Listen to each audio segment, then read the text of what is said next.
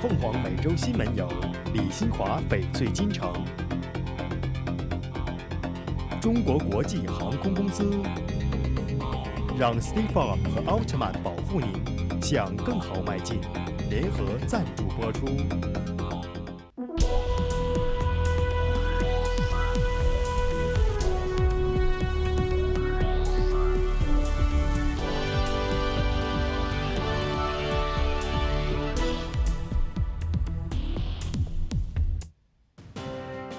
奥巴马表示，空难令人心碎，将提供一切援助。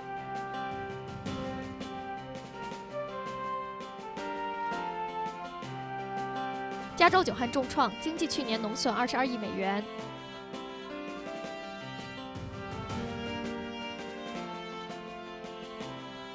北加州将举办海外最大抗战胜利七十周年纪念晚会。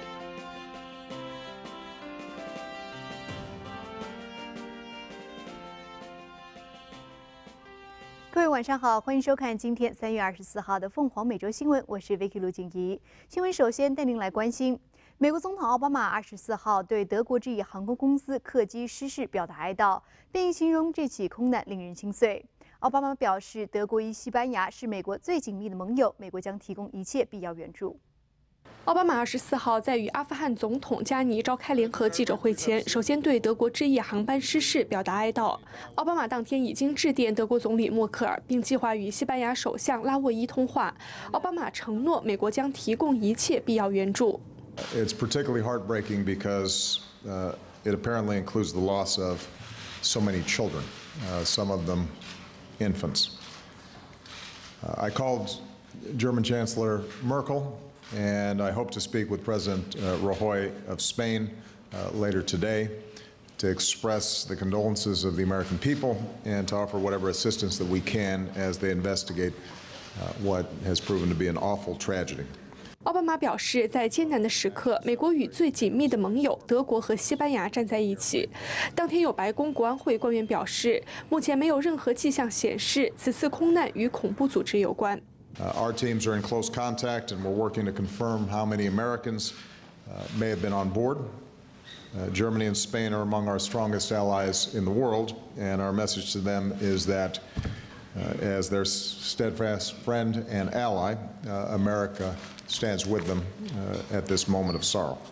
阿富汗总统加尼表示，德国与西班牙都为阿富汗的和平稳定做出牺牲。他代表阿富汗人民对此次空难表达深切的哀悼。 I'd like to express the deep sympathies of the government and the people of Afghanistan to German and Spanish families and governments. Both of these countries took part in the ISAF uh, coalition. They have had major commitments and they've sacrificed in Afghanistan. 凤凰卫视王斌如、黄卓华盛顿报道。 加州连续第四年经历严重干旱，刚过的冬天，加州气温比二十世纪冬季平均温度高出华氏四点四度，这也意味着旱情更加恶化，当地水源吃紧。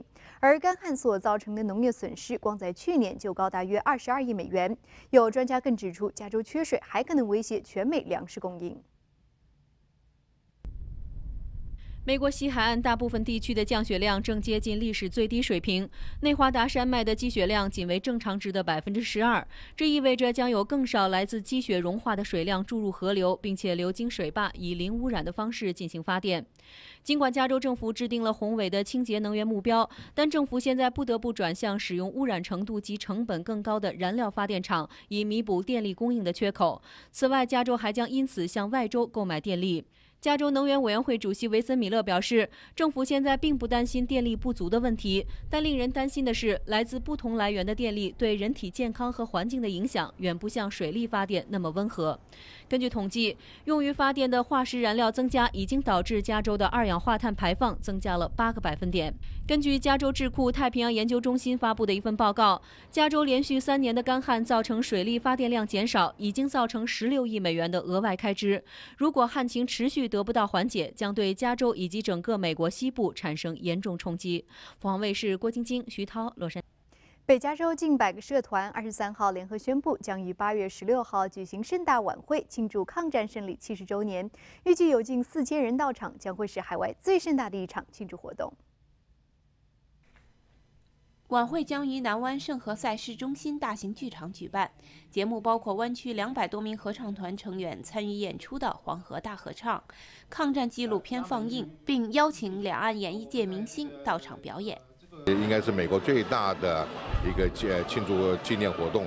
那我们希望经透过这个活动，唤起了我们海外的侨胞，大家一起来重视呃这一段日本侵华的历史。呃，总之这七十年来，日本到现在没有承认这段历史，没有面对这段历史。晚会特邀前台北市议员侯冠群担任主持人，他在新闻发布会中一段即兴模仿表演就相当精彩。那就是人不分男女老幼。地不分东西南北，我们要抗战到底，抗日战争胜利万岁！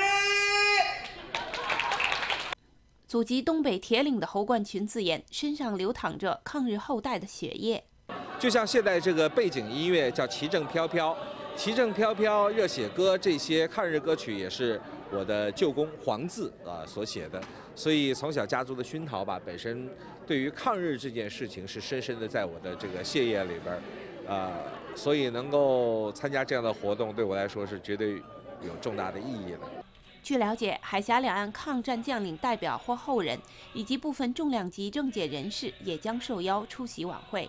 除了这场大型晚会外，北加州庆祝抗战胜利七十周年的系列活动，还包括了马拉松比赛、画展、座谈会、回收九幺八之旅。以及话剧《慰安妇》和《沦陷》等等。凤凰卫视刘海平、旧金山报道。世界儿歌日，加拿大妇女儿童联合协会在大温哥华列治文市举办了一场“别开生面”的孩子眼中的妈妈研讨会，通过小朋友的视角讨论女性就业对孩子成长的深远影响。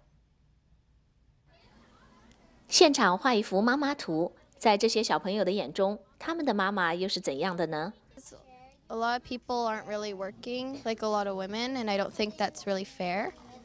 And so she's working to help us get money and stuff, and so it's like I'm really proud of her. 今年三十岁的 Ruta 有一个可爱的五岁女儿。曾经是电脑工程师的她，女儿出生后就辞职在家做了全职妈妈。Now when she sees me going out, she feels it's nice, but when I take a long time to come back, uh, from my work, and then she misses me, and then she says, "Oh, mom, now you don't love me anymore." 像 Ruta 这样，孩子到了入学年龄，希望重返职场却遭遇困境的妈妈不在少数。加拿大妇女儿童联合会常务会长魏美荣表示，特别邀请四十多位妈妈带着孩子一起来参加研讨会，就是希望家长。了解女性就业对于孩子成长的深远影响。孩子眼中的妈妈这个主题，呃，引起了很多人的共鸣。呃，对于职业女性和家庭女性，对于我们在社会上、家庭当中的取舍和兼顾，是不是能够做得很好？我也希望能够听到更多的声音的一个反馈。三月二十九日，联合会将会在温哥华举办首届盛世国葬世界女性就业论坛。探讨为各族裔女性争取工作权益。凤凰卫视祖克勤、吴景，温哥华报道。加拿大联邦政府多元文化部长康尼在多伦多宣布，将进一步拨款资助包括华裔社区在内的青年就业项目，帮助青年尽快找到工作。谢谢大家，Thank you。康尼在多伦多社区与文化中心宣布，政府向该中心的青年就业服务项目资助十二万五千元。帮助十名正通过这个项目寻找工作的年轻人，使他们能尽快找到工作。People need, they're often told, especially if they're immigrants, they need Canadian experience to get a Canadian job, but they can't get Canadian experience until they get a Canadian job. So the job placement aspect of this program will help them to get that first Canadian job. 统计数字显示，目前加拿大年轻人的失业率高达百分之十六点五，远远高于全国平均百分之六点八的失业率。而华人社区的青年人失业率更是高达百分之二十三，很多刚大学毕业的年轻人因为缺乏工作经验，很难找到工作。给了你机会，让你去培啊，train your skills，我觉得是非常重要的。而且你的 resume 上会多一些 local experience。不过，有政治评论员指出，今年是大选年，联邦保守党政府不断向包括华裔在内的少数族裔社团拨款，不得不怀疑他们的政治动机。他们想以此向华人以及少数族裔拉选票。不过，有观察者表示，青年人失业问题越来越严重，拨款资助全国社区的青年就业项目，至少能唤起大家对青年就业的关注。我们有一个返点去帮助雇主去去能够 cover 一定的成本的话，那么他就像雇主会去比较愿意去招聘相应的一些呃没有经验的一些年轻人，那么给他们一个机会。凤凰卫视记者滕中琴在多伦多报道。好，让我们来关心一下拉美和加拿大今天的重要新闻。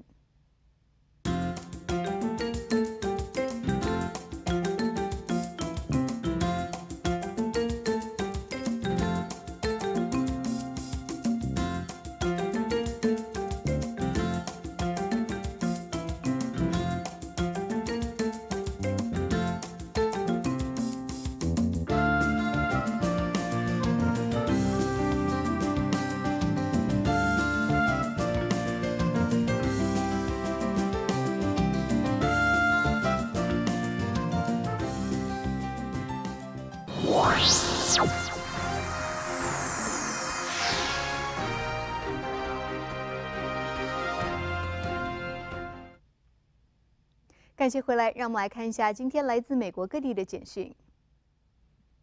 根据圣塔芭芭拉县公共卫生部门发言人克兰罗希尔德表示，该县一名居民可能在海外染上埃博拉病毒，周日晚已转送洛杉矶地区医院接受观察。克兰表示，感染埃博拉病毒的可能性是高度不可能。县卫生官员在咨询美国疾病管制中心及加州公共卫生部门后，决定采取所有预防措施。据悉，该名患者已坐上保护驾驶员及其他医护人员不受感染的特殊救护车，前往洛杉矶县一家不知名医院。在检查结果完成前，该患者将留在医院进行观察。曾经和患者有过亲密接触的人都已经接获通知。克兰还表示，社区没有感染风险存在。美国田纳西州一所大学几个街区外，在当地时间二十四日凌晨发生枪击事件，致五人受伤。克拉克斯维尔警方还在搜寻嫌犯。据报道，警方发言人发表声明说，警察当地时间晚间九时左右接获报案称，奥斯汀佩伊州立大学附近区域发生枪击，警方立即赶往现场。发言人说，四名伤员均送医治疗，但目前无法得知第五名受害者状况。同时，警方还未逮捕任何嫌疑人。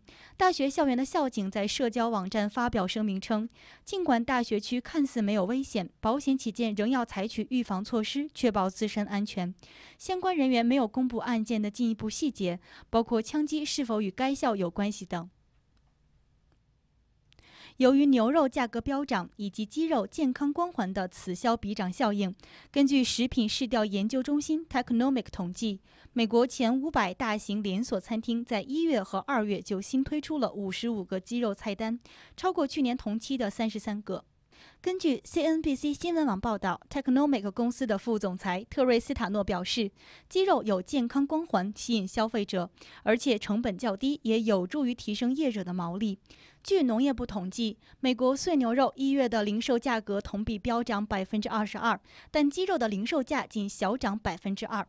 同时，BB&T 资本市场的分析师亨德利称，鸡肉在美国，特别是零售杂货店需求强劲，快餐连锁店正推出更多的鸡肉菜单，也助长消费需求。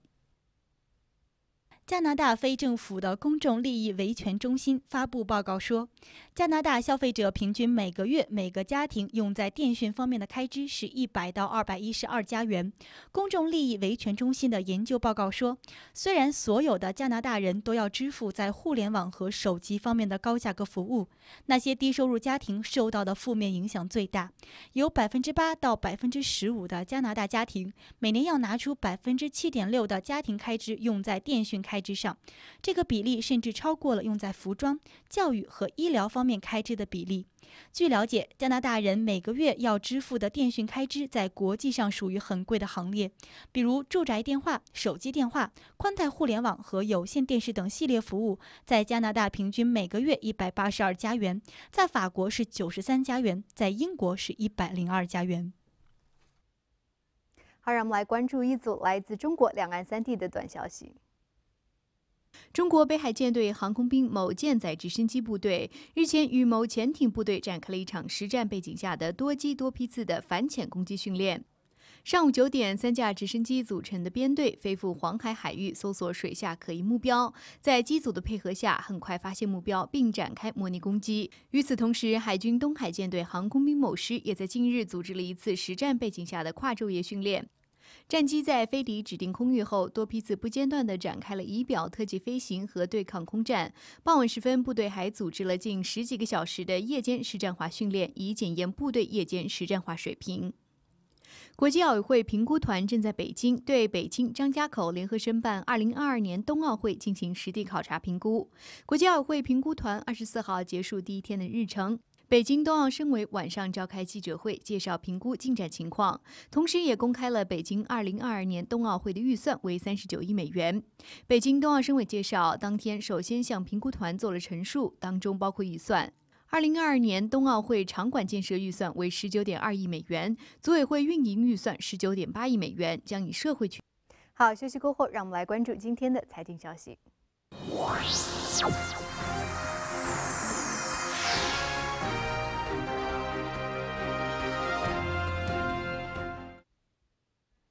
欢迎回来，来看财经方面的消息。由于良好的经济数据导致市场加息预期再度升温，纽约股市三大股指周二均出现下跌。我们来看星期二美国华尔街股票市场走势情况。美股在星期二走势早市开盘的时候曾经小幅反复，随后呢是小幅上升走高，最后收盘时三大指数又纷纷下跌，做收道指跌幅超过百点。早市开盘之前，市场呢是受到了一些强劲的经济数据的正面的支持，认为美国经济还是有上升的潜力，特别是房地产的市场的数据显示新屋销售出现了七年的新高，而通货膨胀率虽然略微小幅上升，基本上还是在受控之中。但是随后市场开始受到了多位联储。官员讲话，认为美国联邦储备局有可能会按照联储局既定的货币政策在年终就提息，所以强劲的经济数据使市场产生了获利回吐跑赢的现象。Facebook 在星期二受到市场人士的关注，他们目前同一些媒体公司进行协商，希望能够在 Facebook 社交网站上发布新闻，这样使自己的用户不用离开自己的 Facebook 的网站，就继续能够浏览新闻。另外是通用汽车公司决定在墨西哥。投资三亿五千万美元来开发下一代新的车型。虽然这两家公司的消息，科技类股一度出现小幅上升，纳斯达克综合指数曾经一度是上升的走势，但是最后也经不住大盘的获利回吐抛压，都纷纷出现下跌。那么在油价方面，星期二呈现了上升的趋势，六美分的升幅，收盘是四十七块五毛一，十年长债收益率。那么收盘之前出现小幅的下降，从百分之一点九下降到百分之一点八八，显示资金流入了债券市场，避险心态开始出现上升。以上是星期二情况，峰会是庞哲纽约报道。好，让我们来关注一下今天世界各地的全球财经指数。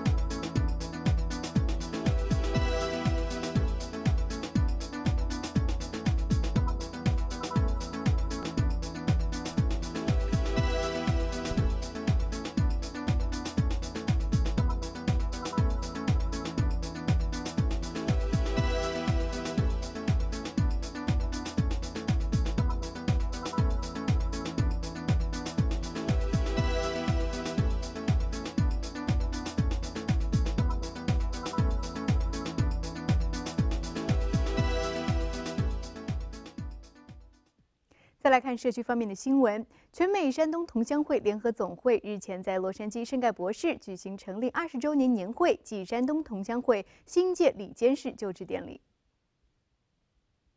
盛会的当天，中国驻洛杉矶总领馆副总领事王磊、美国联邦众议员赵美心、罗伊斯、洛杉矶当地的民选官员和华人侨社团以及政商界代表五百多人应邀出席。山东同乡会为促进中美各方面的交流。呃，做了很多扎实有效的工作，在这儿我表示非常衷心的。感谢。来自全美各地七个山东同乡会的会长，在全美山东同乡会联合总会年会上，还进行了第十一届会长的选举，并于当天公布投票结果。南加州山东同乡会第十五、十六届会长于哲伟当选为全美山东同乡会联合总会第十一届会长，华府山东同乡会上届卸任会长刘洪强当选为全美山东同乡会联合总会第十一届理事长。那从南加州呢到我们全总呃全美，全美当然是比较更有挑战性了。但是呃我这个很有信心为乡亲们服务。南加州山东同乡会第十七届监理事就职典礼当天与全美山东同乡会联合总会年会同时进行，继往开来。新任南加州山东同乡会会长田平春坚定地表示，包括山东、台湾跟美国两岸三地这些桥梁的作用。啊，我们尽量的让两岸能够沟通，人民之间能够互相的信任、信赖。田会长还表示，南加州山东同乡会在今后仍将扎根社区，团结全体会员，为全社会服务。当天的年会上，除了交接典礼仪式外，南加州山东同乡会还准备了精彩的文艺节目表演，宾主们欢聚一堂，共享盛举。凤凰卫视网民洛杉矶报道。好，我们来看一下未来二十四小时的全球天气情况。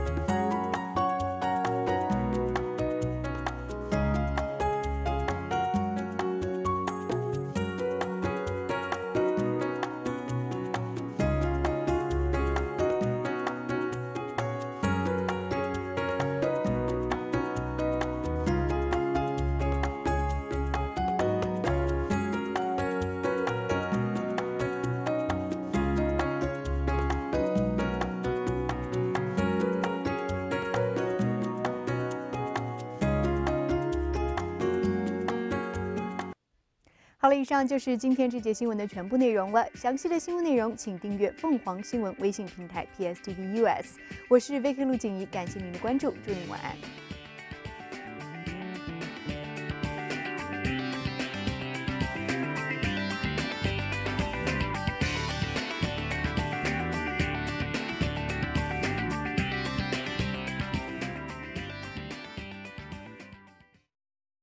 凤凰每周新闻有李新华翡翠金城，